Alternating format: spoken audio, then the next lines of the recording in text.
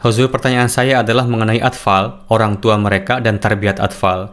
Seringkali atau terkadang saya melihat ayah mereka cenderung bersikap santai, mereka cenderung tidak serius dalam menjalankan tarbiyat anaknya, seperti mengajaknya ke masjid untuk mengikuti kelas atfal atau dalam meningkatkan pengetahuan agamanya. Saya perhatikan banyak tanggung jawab yang dibebankan kepada para ibu mereka. Jadi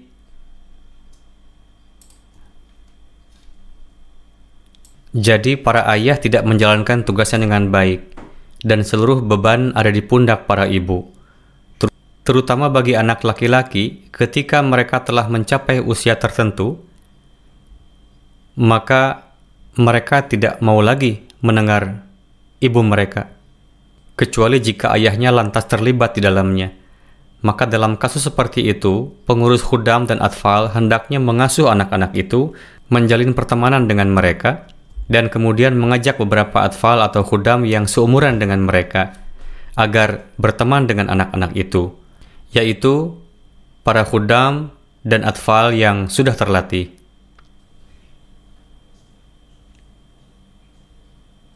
Dengan cara ini, Anda bisa membuat mereka terikat pada jemaat.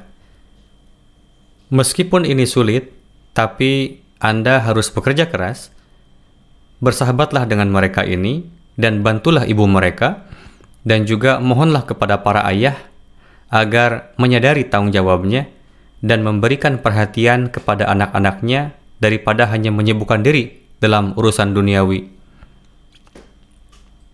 Mintakan juga kepada para pengurus khudam dan ansar, jadi harus ada upaya bersama dan terpadu dari khudam, atfal, ansar, serta lajnah supaya semua mendapat terbiat dengan lebih baik dan terikat pada jemaat dan nizam. Jika ada di antara orang tua ini yang malas atau tidak bertanggung jawab, Anda tidak bisa berbuat apa-apa. Jadi, ini adalah hal yang cukup sulit, dan untuk itu Anda harus bekerja keras. Oke, okay? baik, Huzur. Jadi inilah yang utama, bantulah para ibu mereka, tanyakan kepada para ibu bantuan apa yang mereka perlukan dari Anda dan kemudian Anda bergerak untuk membantu mereka. Oke? Okay?